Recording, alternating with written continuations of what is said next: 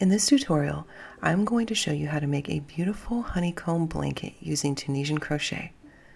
To start, you're going to need a Tunisian crochet hook two sizes larger than the recommended gauge on your yarn. In my instance, I'm going to be using a worsted weight yarn, so I'm going to use an 8 millimeter hook. Here's my beautiful worsted weight yarn that I've chosen. It's a lovely color of yellow.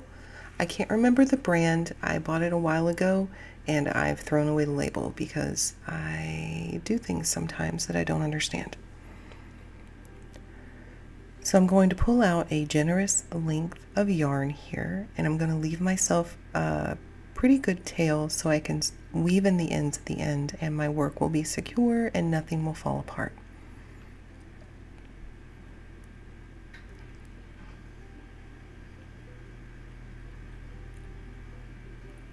So I'm going to start with a slip knot, insert my hook into that slip knot, and now we're ready to start chaining. So I'm going to chain any number of stitches. It depends on how big you want your blanket. For my case, I'm going to be making a preemie blanket. So I'm going to do about 40 to 42 stitches. I think I end up on 42. I'm going to be making a ton of baby blankets to donate to my local Woman's Emergency or Woman's Mercy Center, I think it is. Um, I think right now in this in, in the current climate, women need as much support as they possibly can have, especially in terms of of pregnancies, uh, whether they expect them or don't expect them. I think I think women need all the support they can get right now. So, um, doing doing what I can is important. So once you've chained as many stitches as you need to create the width of the blanket that you're going to want, this is what you should have. So you have your nice little chain foundation.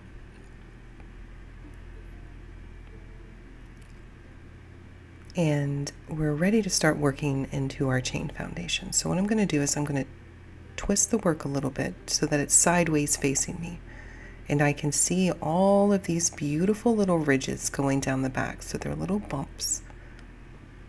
That's what I'm going to be working into. Now, I'm on the struggle bus here for a second because I made my last chain way too tight, so bear with me as I figure this out.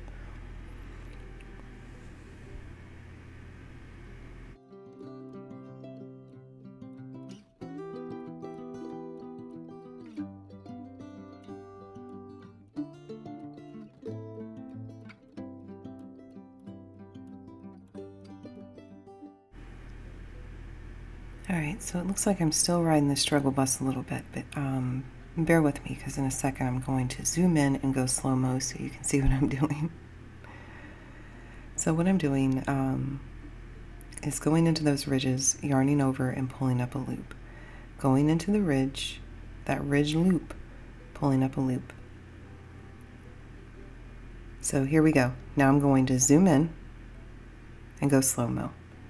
So take a look here at the ridges. So you can see a little bit better now, um, the ridge bumps, those beautiful little ridge bumps. So if you turn your work sideways, so you're looking at it from the edge on, go ahead and insert your hook underneath that loop, yarn over, pull up a loop, leave the loop on your hook. It's important to leave the loop on your hook. If you've done crochet, this is going to seem a little weird, but this is the whole tenet, the whole foundation, the whole premise behind Tunisian crochet.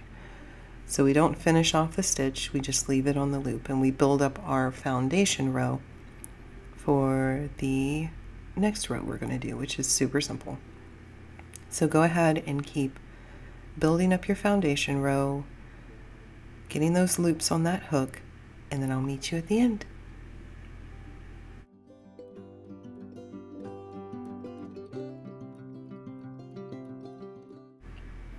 All right, well, that was short and sweet. so I've gone ahead and fast forwarded a little bit, and now I have all of my loops on the hook. I'm going to do a quick count here to see how many loops that I ended up with because I was doing all kinds of crazy stuff with my tight chain. So I actually ended up with around 42. So that's going to be important. I want to keep note of that because I want to make sure that I'm having the correct amount of stitches on my work as I work. So uh, this is what you should have. So you should have all these beautiful little loops on your hook ready to go. So what I'm going to do is I'm going to move my tail out of the way. I want to make sure we're not working with our tail yarn. And then I'm going to pick up my working yarn. I'm going to yarn over, pull up a loop. So in that first stitch, we're just going to chain one. That's called a chain one. Then we're going to yarn over and pull through two. So what that chain one does is lift up the height of your work. So now we're going to yarn over, pull through two, and we're going to do that the entire way down. So here we go. Slow-mo zoom in. Yarn over, pull through two. Yarn over, pull through two. And this is the backwards pass. The backwards pass is the same every single time. Nothing changes. So every time you have all the loops on your hook, you get to the end of your work, you're going to do this backwards pass. You're going to chain one, so you're going to yarn over, pull through one, and then you're going to yarn over, pull through two, all the way to the end of the work until you have one loop left on your hook. Now, while I have you trapped here doing your backwards pass, I would love, love, love it if you find any use from this video. If you give it a like, give it a subscribe, give it a comment. That helps me tremendously. So now we're coming to the end of the work here, and now we have one loop left on our hook. And you should have something that looks like this. So we have all these beautiful little stitches here, these little long leg stitches. Let's zoom in and look at here real quick. So we have our our little legs here. So we have our first stitch that we always skip, then we have our stitches here. And each one of these is a stitch. Each long stitch is something we work into, except for the first one. We always skip that one. So here's our stitch. Here's our front leg of that stitch. So I'm going to zoom in and go slow-mo. So what we're going to do is insert our hook underneath that front leg, working in the front, and pull up a loop. So we never go to the back of our work with our hook. We always stay in the front for this stitch pattern. Then what I'm going to do for the next stitch, pull the yarn in front, move it out of the way, hold it out of your way, insert your hook into that next stitch, let the yarn loose so it falls in front of the loop. See how it's right there in front of that loop? Hold it with your thumb to keep it in place, yarn over with the yarn coming from the back, and pull up a loop. So our entire pattern, our entire piece is going to be worked in these alternating stitches. We're going to work a normal stitch here. We're going to insert the hook, yarn over, pull up a loop.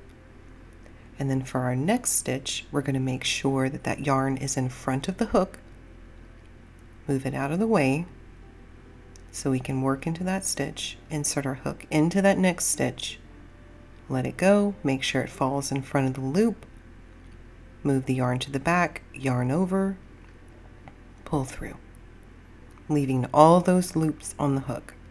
So I'm going to do one more time. So we're going to insert, yarn over, pull up a loop. Then for our next stitch, yarn in front, insert, yarn in back, yarn over, pull up a loop. So go ahead and keep alternating those stitches all the way down the length of your fabric. And then once you get to the end, I'll meet you there. Do note that at the end, there is a special stitch that we have to put in. So do your last stitch and then make sure you check back here to see what we're doing.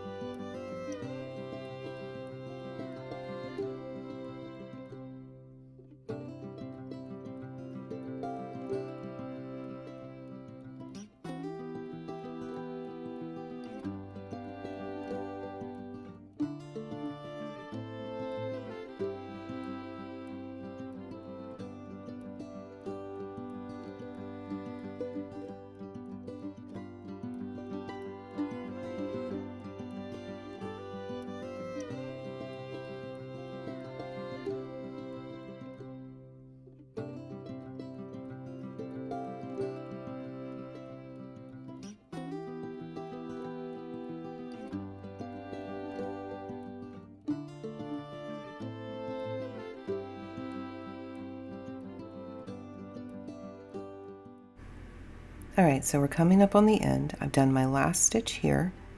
Now what I'm going to do is turn the work towards me. And you see how we have a V here? We're going to work under both legs of that last stitch. So make sure your hook is under both legs, yarn over, pull up a loop.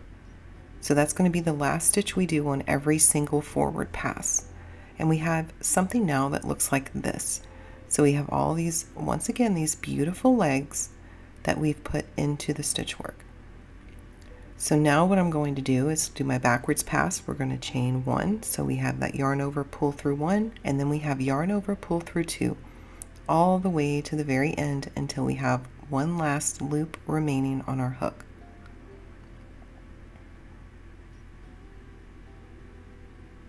And keep going just like this till you get all the way to the end and I'll meet you there.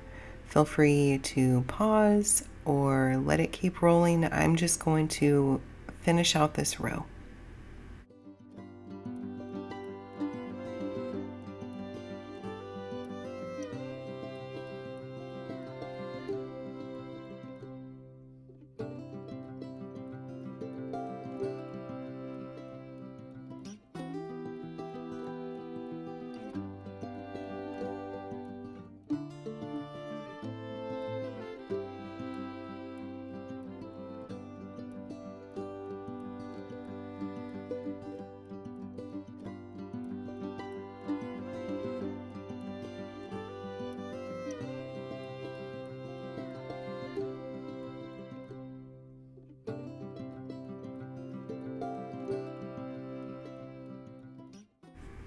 All right, so now we're coming to the end of the work. I have one loop left on my hook, and this is what you should have so far.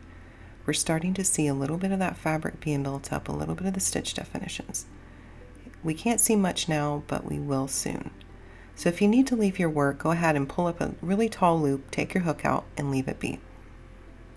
I'll show you an easy way to jump back in so you don't get confused about what stitch you need to do next. So I'm going to show you zoom in here real quick. I'm going to get real close. So this stitch here, you see how it's long? It has two long stitches and then the next one has like a little bump in front of it. And then the next one is a long stitch and then the next one has that little bump. Long stitch bump, long stitch bump. So that is going to be how we determine what stitch we need to do next. So I'm going to go ahead and insert my hook into this loop, pull it up tight. And anytime I see a long stitch, I'm going to do the yarn in front. And then anytime I see a stitch with a bump, I'm going to do a normal stitch. So now I'm going to move my yarn in front and then do that little purl stitch here. So I'm going to yarn over, pull up a loop, and then the next stitch which has a bump I'm going to do a normal stitch. Next stitch and then I just repeat.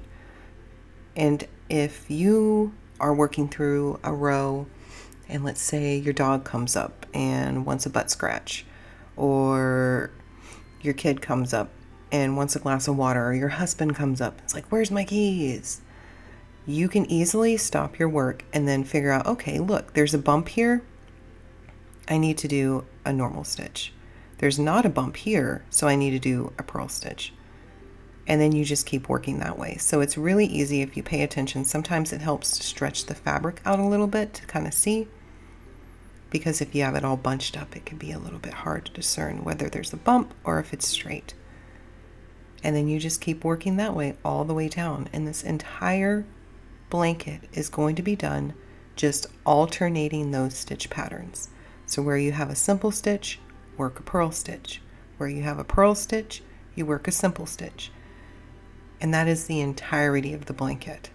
It is super simple, super quick. I finished this blanket in around two hours, I believe.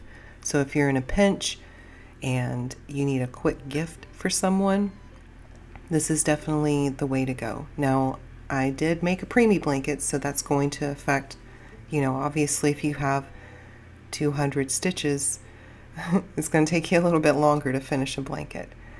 So keep going this way to the end of the fabric and make sure the very last stitch you put in, we're going to come to it here in just a second. So I'm working through doing my purls and simples. I'm getting to that last stitch. Make sure to count your stitches. And on your last one, make sure you go under both legs of that V. And then do your backwards pass. Chain one, then yarn over, pull through two, all the way to the end. And I'll meet you there.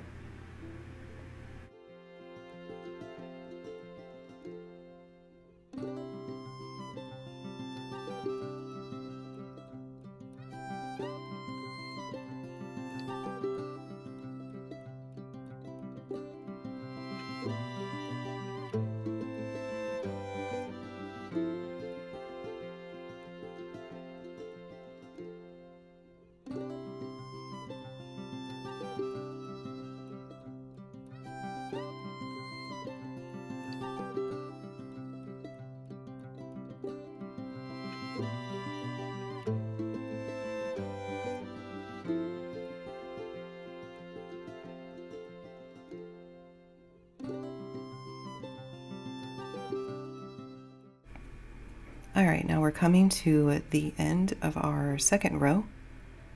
And now we have one loop on our hook. Boom, perfect. So now we can start to see a little bit more of that pattern coming through. That beautiful honeycomb stitch pattern. In our next row, it's going to be even more obvious after we get done with that. So I'm gonna pull up a loop here a little bit so I can show you what's going on. So we have See these beautiful little U's? So our next row is going to cap off the U, so it's going to turn into like a little hexagon. So let's go ahead and do that row. So once again, I'm going to take a look at my fabric here. I see my legs that I need to work into, and I see this, this stitch here, and I already know what I need to do.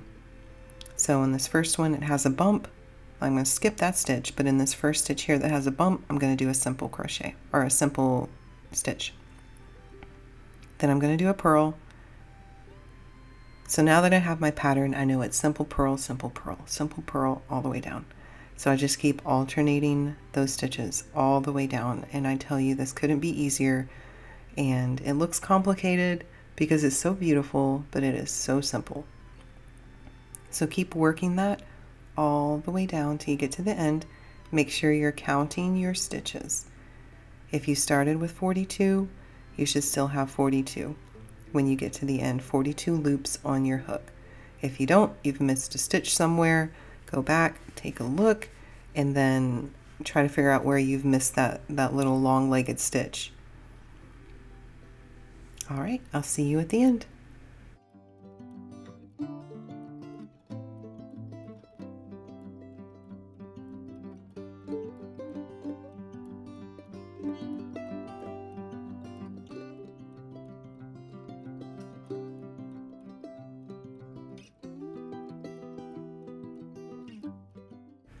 So I've gone ahead and fast forwarded a little bit through the backwards pass. I think you guys have heard me beat it enough into your into your head what a backwards pass is. now we can see our stitch pattern. Look at that. Oh my goodness, so beautiful. This is going to be a beautiful blanket. Now we have a whole little honeycomb and the start of a new one. So as we're finishing off one honeycomb row, we're starting another. So it looks really beautiful so far.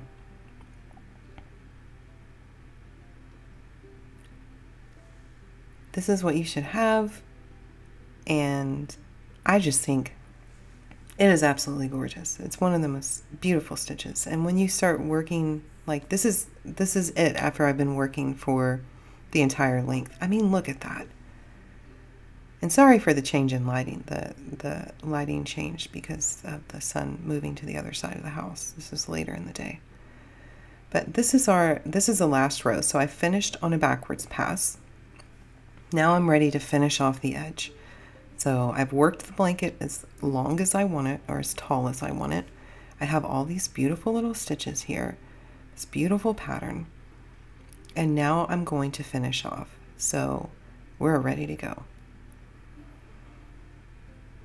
So what I'm going to do is, now if you've done any crochet, this is going to be super simple. So what we're going to do is we're going to do a row of single crochet all across the top. So we're going to skip our first stitch, always skip that first stitch, and then in our next stitch, I'm going to zoom in, go slow-mo. We're going to insert our hook like we would as, as if we were doing a simple stitch. Yarn over, pull through. Now instead of leaving the loop on the hook, we're going to yarn over and pull through both loops on that hook. So this is going to start to finish off that edge. And it's going to give us a beautiful finish to the edge. I know um, I've seen a lot of people do slip stitches, but I just don't fancy that as much as I fancy the, the single crochet across the top. I, I tend to notice that the slip stitches make the work a little bit too tight for my taste, so I like doing the single crochets. So I'm going to insert my loop, or insert my hook into that loop, yarn over, pull up a loop, and then I'm going to yarn over again and pull through both loops on that hook. And I'm going to do that all the way down till I get to the very last stitch. And in that stitch, I'm going to do a slip stitch. And I'll show you what that looks like when we get to that part. I've found that when you do a slip stitch on the very last stitch, it makes a beautiful blend from one edge to the next and gives your work a nice finish. So go ahead and in every stitch across the top, place a single crochet.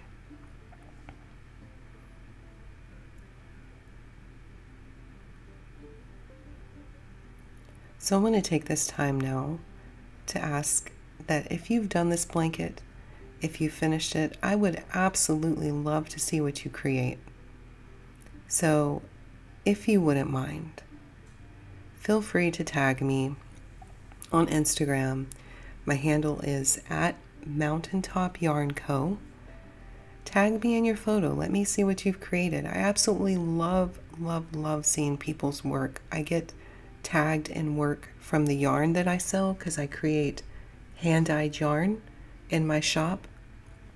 And let me tell you, this project that someone tagged me in, I created a custom dyed yarn set for her to create a gift for one of her friends.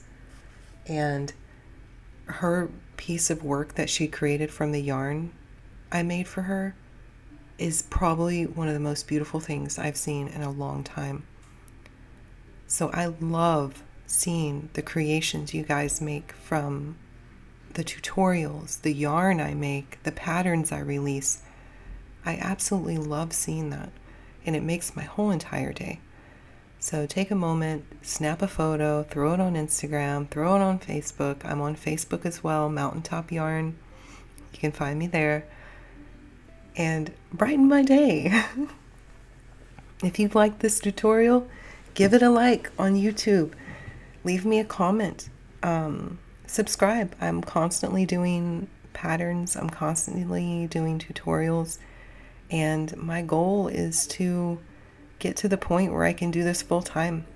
And every like I get, every subscribe I get, gets me closer to that goal. So, the more time I have to do this, the more patterns I can make, the more yarn I can make, and it's it's just my dream. So I think it's all, we all have dreams and it's important to have those. And if we can support each other and gain value from it, then absolutely. So that's enough rambling. It's enough pleading. and thank you so much for your support. For those of you who do choose to subscribe, and those of you who choose to like my videos and comment, your support means so much to me. All right, back to the tutorial. I'm done, I promise. We're coming to the last stitch, so I'm doing my very last single crochet, and in this very last, remember we're going to turn our work sideways, grab both those legs, yarn over, and then I'm going to pull that yarn all the way through. So now I'm going to pull up a nice little loop here, and look at that. Oh my goodness. It is done. it is finished. So what you can do at this point is you can switch to a crochet hook if you choose to and add a beautiful border. But for me, I like the way this looks, so I'm going to end it off here. So I'm going to grab my scissors and I'm going to pull out a generous little tail once again because we want to have something to weave those ends in with. Give it a snip. pull that yarn through. And now what I'm going to do is I'm going to thread my tapestry needle and then I'm going to weave in the ends. Now, if this is your first time ever doing Tunisian crochet or any kind of um, fiber work, I'm going to show you how to weave in the ends. I'm going to give you some little tips and tricks.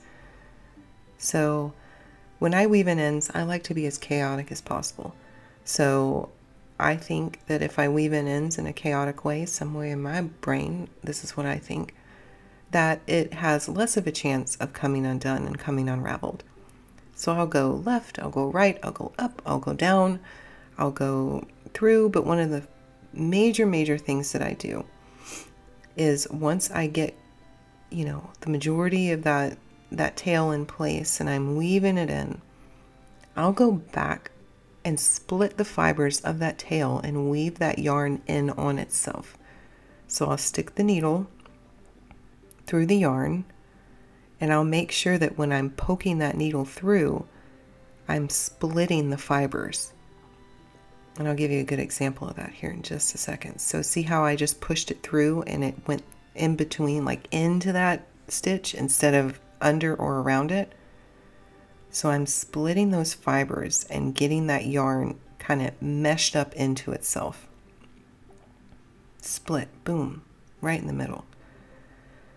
So with natural fibers like wool or alpaca or angora, fibers like that tend to have a little bit of um, a barb on them. So when you look at it under a microscope or you look at it very closely, you can feel the texture on the yarn and those tend to grip each other very nicely. So when you do that, it kind of melds into itself and grips onto itself.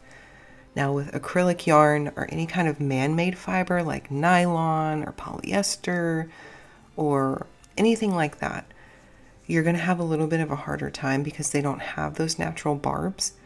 So for this instance, I was using a yarn that had acrylic in it. It wasn't majority acrylic, but it did have acrylic in it. So in those instances, you want to make sure that you weave those ends in good because acrylic doesn't naturally bond to itself whenever it's put through normal wear and tear. It won't felt together. So I like to weave in as much as I possibly can because I want these blankets to last as long as they possibly can, right?